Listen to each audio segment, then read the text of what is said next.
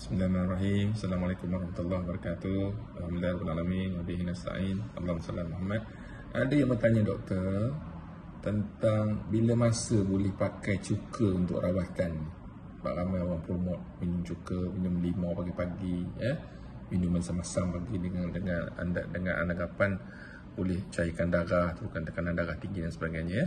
Jadi pertamanya kena faham apa dia cuka ya. Cuka bersifat asid dan pH dia di antara 2 ke 3 malah lebih rendah lagi daripada itu ya.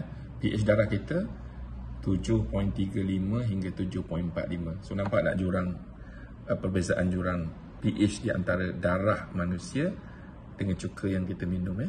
maknanya kalau kita minum cuka diserap dalam usus kita uh, bergoncang acid base balance dalam darah ya maka darah akan jadi sangat berasid dan badan akan terpaksa buat sesuatu untuk neutralkan dia.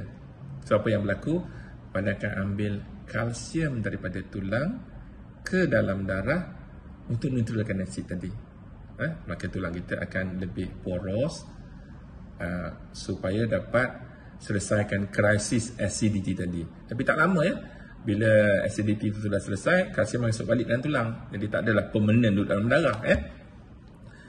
Uh, guna dia adalah oleh kerana sifat dia berasid. Contohnya macam orang minum apple cider vinegar pagi-pagi campur air kosong sikit oleh kerana sifat dia asid kelebihan dia adalah dia boleh kita guna sebagai rawatan untuk memecahkan batu karang dalam pundi hempedu juga batu dalam uh, liver kita yang selalu kalau kita buat ultrasound doktor komen ada fatty liver Sebahagian daripada fatty liver tu adalah merupakan intrahepatic stool yang teramat kecil yang tak dapat di uh, visualize dengan baik melalui ultrasound. Dia nampak macam fatty liver saja. Tapi secara secara mikronya dia adalah batu-batu halus yang telah uh, menyumbatkan liver kita. Jadi meminum cuka membantu meluruhkan batu tadi uh, keluar daripada badan. Eh? Dan adalah kaedah yang yang tepat untuk buat liver flush nanti.